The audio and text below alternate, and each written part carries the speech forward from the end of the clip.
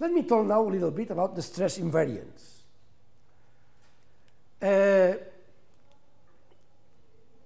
I tell you that there should be some combinations of the stresses of the component of the stresses in a certain in, in, in different possible uh, uh, system of coordinates that in spite that these components change when we change the Cartesian system of coordinates, a certain combination should be constant disregard what is this system of coordinates. They are called invariants, and there are in principle three invariants. Of course, any uh, combination of invariants is invariant too. If something, for instance, if this doesn't change when changing the system of coordinates, and this doesn't change when we change the system of coordinates, the sum of them doesn't change. And the multiplication of them doesn't change. And the square root of them doesn't change. Okay? But in principle, there are three which are called the invariants I of the stress tensor. Look, the invariants are numbers, which depends on the stress tensor. The point is that disregard the system of coordinates for this stress tensor, they don't change because otherwise they contradict the principle that this equation, the characteristic equation, provide unique solutions for the, for the principal stresses. Okay?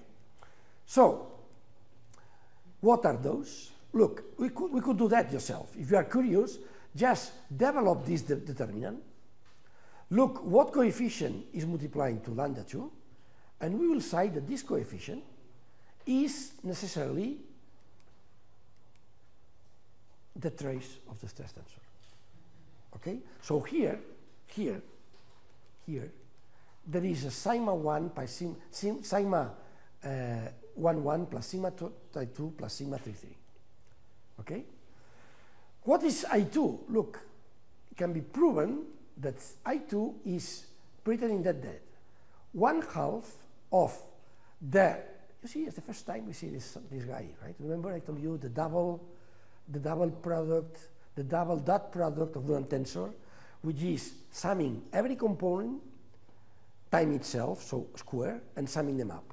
So this is sum sigma 1 1 square plus sigma 1 2 square plus sigma 2 1 squared sigma 1 2 sigma 2 1 plus, plus 2, 2, 2 times sigma 1 2 squares plus 2 times sigma 1 3 squared plus sigma 2 2 squares plus 2 times sigma 2 3 squared plus sigma 3 3 squared. That is this guy. Okay? This, this result doesn't change. Ah, minus, sorry, minus I1 squared, which is sigma 1 1 plus sigma 2 plus sigma 3 3 squared. This result, if you change the system of coordinates, doesn't change. Okay? It's an invariant. By the way, how is this result in the case that we work specifically in the principal directions, well, sigma times sigma is sigma 1 squared plus sigma 2 squares plus sigma 3 squared, right? Maybe you, you don't see that so, so clear, but look, this term, so no, back here, uh, this one. The sigma times sigma, when I work in the, in the principal directions, is this time squared, sigma 1 squares, plus sigma 2 squares plus sigma 3 squared, right? And then trace of sigma is sigma 1 plus sigma 2 plus sigma 3. So if I compute that, it turns out this, this, the value of this invariant in terms of the principal stresses. And what is the third invariant? Is the determinant of sigma. So the determinant of sigma, which in that case would be the determinant of that, but in the case of the principal stresses, what is the determinant of this? You know? Sigma 1 times sigma 2 times sigma 3, that's the determinant. So that determinant, that determinant, the product, okay, The determinant of sigma is, uh, is, is, is invariant. Okay?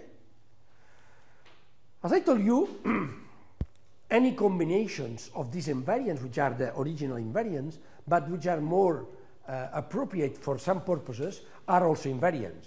So if I take, this, this gives rise to the invariants which are called J invariants. the J invariant 1 is equal to I1, so the trace. J2 is I1 squared plus 2E2, so that is the expression, a little simplified. And J3 is the combination of the three I invariants and this. So this invariant J, there are J, there are three of them, they are also invariants and they, can be computed in that way. Okay, and this is an expression, a, a, a normalized expression of the three invariants. Okay, we'll talk about that frequently. We'll talk about invariants I, but essentially we'll talk about invariant J.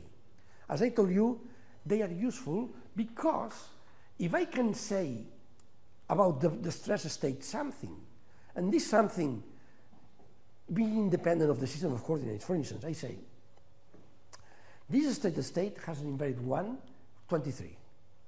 And then you show, you show that into, into a meeting, and the guy said, well, but in what system of coordinates are you computing that? You say, it doesn't matter because it's invariant. Okay? If I talk about, if I say, the component 1, 2, or 1, 2 plus 2, 3 of the stress state is 44. And the guy said, what is the system of coordinates of that? Say, well, you are right. If I change the system of coordinates, that would be different. But not in the case of invariants. Okay? And that's what they are useful for. And look, of course, in the same way that I comp can compute the invariants I and the invariance J of the stress, stress, the stress tensor, I can compute also the invariance I and the invariance J of the deviatoric part of the stress tensor. Okay? And look, the first one, according to that, will be the trace of the deviatoric part of the stress tensor. By, by the way, it can be proven that any deviatoric stress tensor, by construction, you can just check it. That's, I think that is one of the problems that you have uh, in the book. If the deviatoric stress tensor is defined in that way, the trace of that would be the trace of that minus the trace of that. But the trace of that is sigma m, and the trace of that is sigma m. So the difference is zero. So the, trans, the trace of any deviatoric uh, tensor is zero by construction.